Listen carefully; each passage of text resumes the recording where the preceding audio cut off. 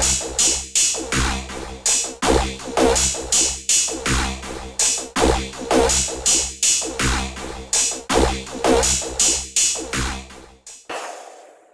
guys, how's it going? So welcome back to PrimaEd. This is Herbert Uba and today we're going to cover combined science. It's been it's been a while since we, we covered that, okay? So this is an interesting paper. It's um 2020 uh, paper, November. Okay. So ZIMSEC, this is this is this was a good paper as well, We're just reviewing all the questions there. So I managed to get this paper from SciTech, scitech.co.zw. So you should check them out if you're studying on your own. I think uh, they have uh, incredible resources. So you should uh, check that out. So I hope that you stick around and you know get so much value because we'll be discussing um, the questions, not just answering uh, the questions. Okay, so uh, the first question says uh, which one is a biological component of an ecosystem? Okay, so ecosystem there's a study we call it ecology. Just to give you a background so that we are on the same page. There's a study, it's called ecology. So you can actually go to our university to study this, or maybe um, a paper, or maybe a subsection of, uh, of ecology. Ecology, um, it's simply a study of um, the interactions um, of the various components of the ecosystem. Okay, so ecosystem is, is another buzzword here. Ecosystem uh, simply means uh, the coexistence and the interactions between the the uh, biotic and the abiotic. So you'll be having the the biotic, sorry. So you'll be having the biotic and you'll be having what's called the abiotic. So abiotic simply means non-biotic. Okay, so biotic simply means living, living, uh, living. The living components they're called uh, biotic, and then the non-living components they're called um, abiotic okay so that's it and if you just want to know the, the biotic components those are easy to know because uh, there are not too many so you're looking at uh, bacteria you're looking at uh, bacteria you're also looking at uh, fungi. Some people say fungi. So you're looking at fungi and you're also looking at uh, flora so means, means plants. And you're also looking at animals so means uh, fauna. So you can say animals here it's still fine. Okay. So the the other thing that uh, we also cover from here is actually insects okay? Insects are a part of of the the biome. So they are part of the uh, biotic uh, environment the biotic components of the ecosystem okay? They are biotic. Those are non-living. So you're looking at uh, maybe sunlight. So you can just say light. And then you're also looking at um, uh, air. Uh, maybe soil. So these are non-living okay? So even nutrients as well. Nutrients are non-living so all these components we call them components of the of the abiotic uh, uh, ecosystem okay? So their interactions we studied them in um, this ecosystems. The interactions of all this stuff we, we studied them uh, is an ecosystem. And that study is called ecology okay? So that's um, just about it for the for the background. Well, we're also laying out the background for the next question as well because um, it's it also pertains to uh, what what we are what we are discussing here just now okay? So you're looking for the stuff that actually has living things. So obviously air, air is part of the of the abiotic or the non-living uh, components of the of the ecosystem. So this one cannot be. So and uh, soil also we mentioned it it's, uh, it's over here. And water you can also include water here okay? Because it's non-living. But the the humus now or some say humus so humus i think humus is the correct pronunciation. Humus has uh, some micro microorganisms there some microbes. So you'd actually count this one as part of the part of the of the biotic uh, components of the of the ecosystem okay? So you'd have to choose this one. And let's let's move to the next question. So next question what does it say next question says the diagram shows some stages in the nitrogen cycle okay so this is the nitrogen cycle uh, some stages there's not all showing all so which arrow A, B, C, or D represents the decomposers. Okay, so decomposers we say that they are uh, sapro saprophytic. So saprophytic, they are sap, uh, saprophytes. So they actually feed on um, uh, dead um, plants and uh, uh, dead animals. Okay, so if you can imagine the ecosystem, it's sort of like this interconnection and the, within this interconnection there are certain cycles because you have to recycle nutrients. Uh, if an animal lives then you know it accumulates certain nutrients over its lifetime. And it also shades um, it also shades uh, certain systems uh, certain certain nutrients over its lifetime as well. And um, when it dies now we actually have to recycle back uh, whatever nutrients that the, the animal will be having okay? So the way do you actually do it by by uh, a process called a process called decomposition okay? So uh, you use decomposers okay to uh, recycle back whatever nutrients that uh, that you want okay? So let me actually see if I can move this up a little bit. Yeah this is good so yeah so uh, the the decomposers would be the stage here okay why? Because you're having plant protein and then you're having ammonium uh, compounds, okay? So the, the, the decomposition of plant protein is carried out by microbes. So the microbes, they, they carry out that part and uh, they recycle nutrients, okay? And here, the stage D, it's, uh, it's actually uh, from nitrite, so nitrite and nitrates. The way that you can uh, think of this is that uh, nitrates, they have um, uh, three oxygen okay? So here you're looking at three oxygen and in uh, each molecule and then nitrites you're looking at uh, only two oxygen oxygen atoms okay? So here this process here of adding these oxygen atoms it's actually called oxidation okay? So if you want to get uh, nitrites from nitrate then you have to uh, go through a process called reduction okay so in nature we have this oxidation so that we produce our nitrites, okay? So there is also nitrogen fixing, uh, for example, using lightning, okay? So lightning can also fix nitrogen. Lightning, it's um, like so much in terms of uh, the energy input into a, a molecule. It's, uh, it's very massive. So when you're having a, a nitrogen molecule like this, okay, so uh, lightning can actually go and strike this very well so that it breaks. Okay so when it breaks it gets washed into into nitrogen compounds which um, are then found in, in water. Okay so that's the traditional way that it was done. But then now we, we, we now have fertilizers for the nitrification of of soil okay to reintroduce certain uh, nutrients not only nitrogen but also some other uh, uh, nutrients as well okay? So that's just about it.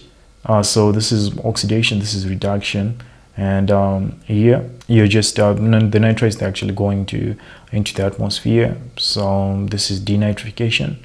Uh, you're actually taking away the, the nitrites from the from the environment okay so yeah that's just about it for the second question. So question three asks us which equation which equation shows the process of anaerobic respiration in humans okay? So uh, the buzzwords or the key phrases here they are anaerobic respiration and in humans okay?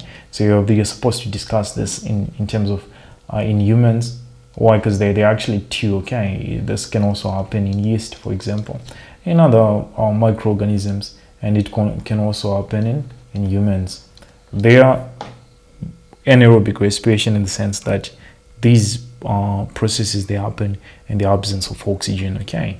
But uh, essentially they are that is the only thing that's common between them. But uh, essentially there, there are some differences okay? Then these differences they actually reflect in the, in the equations okay? So here you can identify the the one for uh, anaerobic respiration in humans would be this this first one here. Why? Because you're just having glucose you're producing lactic acid and energy. Lactic acid it's a it's um it's, it's an acid obviously it's always it's a compound and it's it's um an energy pack as well. So anaerobic respiration when you're just it's it's an emergency thing so you actually don't uh, get uh, as much energy or as much ATP as um, you would get if you were at rest okay so a part of that reason is that there is actually some energy trapped in in lactic acid. So lactic acid is actually an energy pack. Uh, when you run upstairs, your knees they, they, they have this burning sensation just because uh, of the accumulation of lactic acid. So after after you you you maybe you're taking rest or something, your body actually converts further that lactic acid to uh, produce more energy. Okay, so this is how it happens. So this one is for for anaerobic respiration in humans. If they ask you anaerobic respiration in uh, uh, in yeast, so which is called fermentation, this one is slightly different. Okay, so you actually have to uh, include that. So uh, the fermentation in in yeast, you have glucose and then you have ethanol plus uh, carbon dioxide plus energy. So you'd actually be having uh, carbon dioxide plus energy. You won't be having this.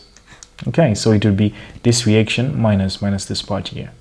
Okay so this is how, how we we brew maybe beer something like that especially traditionally this is how you'd uh, uh, go about it okay? So and uh, glucose uh, getting ethanol plus energy this is just noted. And this is not uh, just noted. So we could just go with with a okay? So that's just about it. Let's see if we can get more questions from here. So during germination the seed coat breaks uh, due to the uptake of uh, and just so you know the seed coat if uh, for most seeds most uh, trees what they do is uh, it's, it's, an exchange okay? So if you look at seed dispersal so there's uh, this one i'm sure you have uh, discussed it before. So it's called seed uh, dispersal or dispersal. So what, it means is uh, if i'm if i'm a tree i want my progeny i want to uh, spread as much as I can my my the, the, the survival instinct of um, uh, all living organisms. Okay, so it's not in instinct uh, instinctive to plants, but then they actually have mechanisms logged in that allow for that, so that we have more trees. So what they do is um, they do a trade-off. They'll be having some some fruit, and within that fruit they'll be having some seeds. These seeds they they have a coat, so the coat is to protect. Uh, you, you, you don't want for, for for example the tree it's it's not in the best interest of the tree to have the the coat be soft. Why? Because uh, that way uh, an animal can just can just break through using its teeth uh, but then that's that, that won't be productive for the for the for the plant. So in order for the plant to maintain its progeny to reproduce it actually has to provide for for that coating so that uh, uh, when the when the animal goes and then it disperses, somehow uh, the seed inside is protected and it is still being intact and then the plant can actually colonize new areas. Okay so that's that's how it happens. So there's a coat which is there uh, for a mango mango seed. The the seed is actually inside there. It's, it's actually actually soft. So there are many ways by which uh, the, the that seed can can break okay so there are mechanical ways and uh, it can also break due to microbial uh, action, so using microbes. And um, a common way by which uh, during germination a seed breaks is because of um, water. Okay, so there's um, you probably know the, the word imbibe. So I'm was gonna butcher the spelling here, but then the word imbibe. So so this this process here, I don't know how to uh, pronounce this, but then it comes from the word imbibe. So you can say imbibation. So I think uh, the, the, the, the fly. And um, essentially this is the process by which um, um a, a, a, seed inside, so it would be taking up water and then it would be swelling up. Uh, you can see this um, usually for, for some, if you put uh, some seeds uh, in water or something like that, you can see that it swells up and then it breaks the coat and once it breaks the coat now it uh, can continue its its germination because this is the, the first process. Uh, a, seed cannot grow with its coating. The coating has to uh, to break okay? So this happens when the seed takes up water. So that's uh, that's when you you'd uh, you'd see this. So the, the next question question five. I just realized that we didn't load question five here. So what i'm going to do is i'm going to load question five in the next uh, video. But then for now we'll do question six. But then we'll do five seven uh, going going forward in the next video. Okay so plasmolysis causes so plasmolysis this is a, a condition in a, in a cell. Okay so where the cell shrinks uh, it shrinks away from the it shrinks away from the cell wall the cell membrane it shrinks away from the cell wall just because of uh, a concentration gradient in, uh, in terms of water. Okay, so water concentration um, inside the cell will be more. So you can uh, think of it as uh, if you uh, would put maybe uh, a potato and then you put it in uh, some concentrated solution. That potato, most of its water to actually come out and um, populate the, the surrounding where there is a concentrated solution. This is just natural. It's a passive process. It doesn't take any energy. It's just uh, a process of circumstance. Okay, so that's what um, um, plasmolysis is. So you'd have the cell membrane moving away from the cell wall. Uh, this is this is what you'd uh, you'd have. Uh, there's something called turgidity. So turgidity like this. This one is the opposite of uh, uh, plasmolysis. Okay, so you would actually have a cell a cell swelled up. So when it swells up, it actually has uh, its cell membrane um, in close contact or resting against uh, the, the cell wall. Okay, so and um, there's actually an, an, interesting experiment where you have a blood cell, a red blood cell, and you have an animal an, an animal cell, and then uh, you have an animal cell which is a blood cell, and then you have a plant cell, uh, which is maybe uh, we can say palisade cell. When you put uh, uh, when you set the concentrated gradient such that these two they become turgid um, maybe you can put a red blood cell in distilled water. What happens is that it bursts. Why? Because it doesn't have a cell wall to support it okay? So it's like um, having uh, a tube so a balloon. If you keep pumping it it's going to burst at some point. But then for uh, animal cell for plant cells it's slightly different. Why? Because they actually have you can think of it as that that skin in a football. So you can keep pumping you can keep pumping but then uh, the skin will make sure that uh, you know you don't pump too much. It actually get harder harder harder until it uh, reaches some uh, mechanical equilibrium of some sort okay? So that's uh, that's just about it. That's uh, plasmolysis. And so we'll choose this one the cell membrane going moving away from the from the cell wall. This is where we would see plasmolysis. The opposite is turgidity okay? So you'd be having the cell membrane going towards the cell wall so yeah that's just about it and uh, i'll catch you uh, you know in the next one. Cheers